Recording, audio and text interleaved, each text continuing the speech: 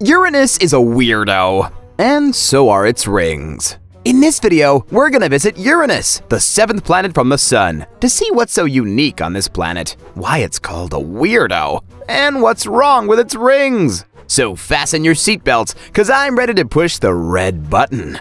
Uranus is not visible to the naked eye. That's why it was the first planet discovered with the use of a telescope, all because of its low brightness. You all may know Saturn for its beautiful rings, Someone still thinks it's a big solid hoop rotating around the planet. But Saturn is not the only planet in the solar system circled by rings. We have Uranus circled by 13 rings. William Herschel, who was the English astronomer, was first to mention of a Uranian ring system in his notes.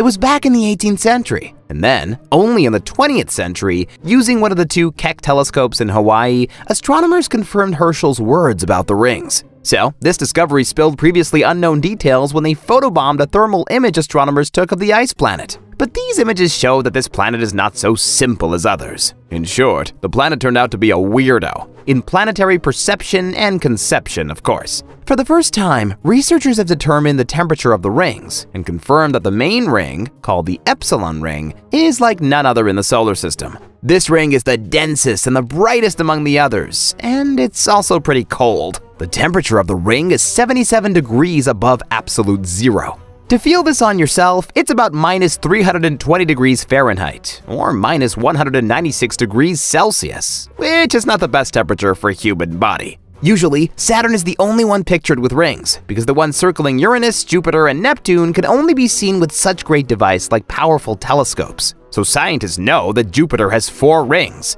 Neptune has five, when it comes to Uranus, it has 13. But it's not so easy to explain the origin of these rings as it was with the previous planets. The rings around Uranus reflect very little light in the optical and near infrared wavelengths, typically used for solar system observations. And yet technology is always being advanced. But the universe is not ready to conform to your demands. When Voyager 2 flew past Uranus in 1986 and took a bunch of happy snaps, scientists back home noticed that the rings seemed to be missing something.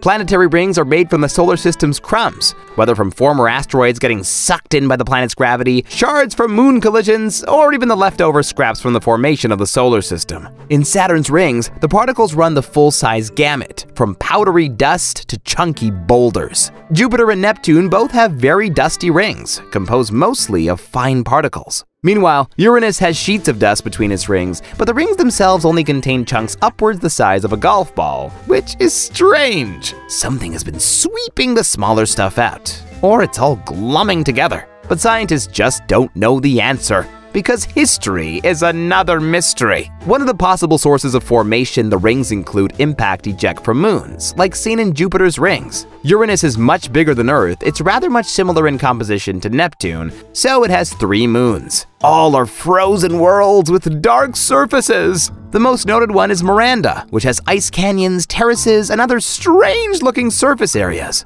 After colliding, the moons probably broke up into many particles, which survived as narrow and optically dense rings, only in strictly confined zones of maximum stability. But the mechanism that confines the narrow rings is not well understood. But besides moon's impact, there are other explanations on what served to form these rings. Like asteroids captured by the Uranus gravity, then somehow pulverized or debris left over from the planet's formation, or debris from the theorized impact that literally knocked the planet sideways. Scientists like to come up with theories and then solve them, but the most likely explanation for the formation of these rings is solid orbiting objects, destroyed either by impacts or tidal forces.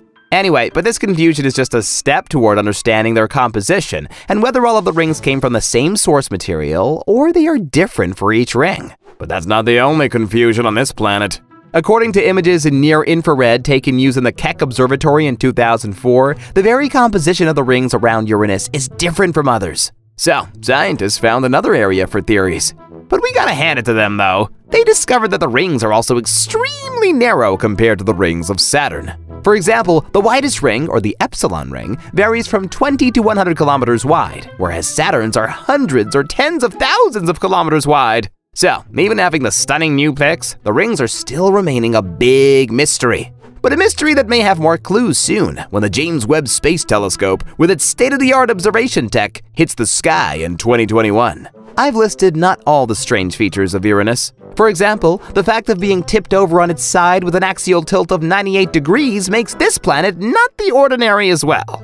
That's why it's described as planet rolling around the sun on its side, because it rotates in a retrograde direction, opposite to the way Earth and most other planets turn. Yeah, what a weirdo. But maybe our bit cynical view of the universe is a reason why aliens tend to fly to crazy people than to real scientists. I guess it's all because of the Hollywood cause. No one can hear you scream there in space, and all that stuff. Share this video with your friends, and if you like, just write a comment down below. And don't forget to subscribe on this channel to see more interesting videos.